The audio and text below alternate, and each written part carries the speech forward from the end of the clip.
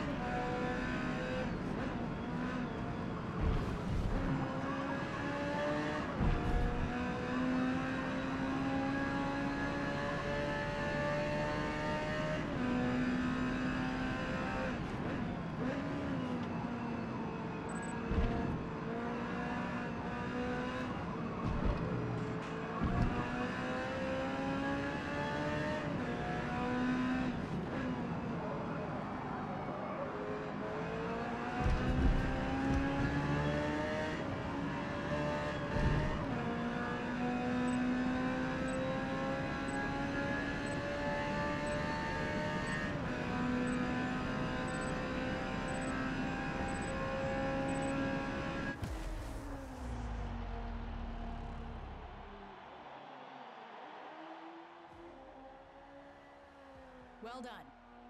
We finished P1.